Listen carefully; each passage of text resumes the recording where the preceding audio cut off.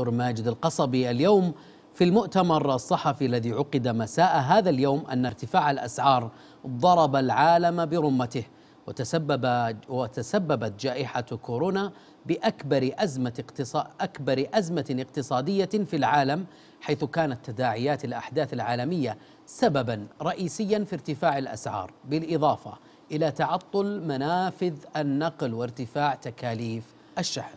هذا وأضاف القصبي خلال مؤتمر التواصل الحكومي للحديث عن ارتفاع الأسعار أن القيادة استشعرت أثر هذه التداعيات على أسعار السلع الغذائية والأساسية وصدرت الموافقة الكريمة بناء على ما رفعه ولي العهد بحزمة مساعدات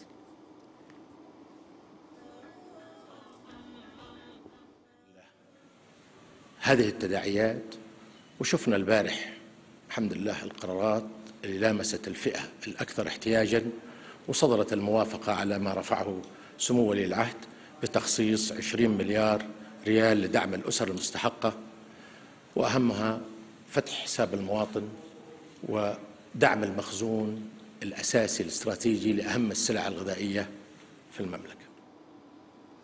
طبعا أيضا بين القصبي أنه سيتم رصد ومتابعة أسعار 217 سلعة من أجل اتخاذ الإجراءات المناسبة لمنع أي تلاعب بالأسعار.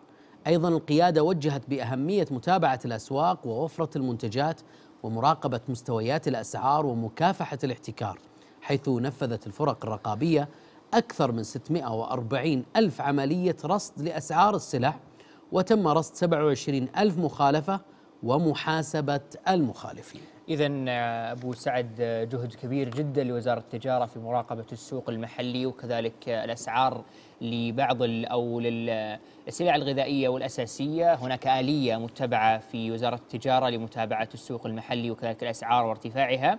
جميع من يخالف القرارات والأنظمة. سيجد الجهات الأمنية والمعنية له بالمرصاد. سيحل التحقيق وسكذلك يوقع بحقه أشد العقوبات النظامية جهود كبيرة جدا استشعار كريم مبادرة كريمة من القيادة الرشيدة حفظها الله حفاظا على صحة وسلامة وكذلك استقرار الأسر الأكثر حاجة والأشد حاجة لمثل هذه السلع. التواصل الحكومي كذلك يقوم بدور كبير جدا في تواصله مع الجهات الإعلامية ووسائل الإعلام.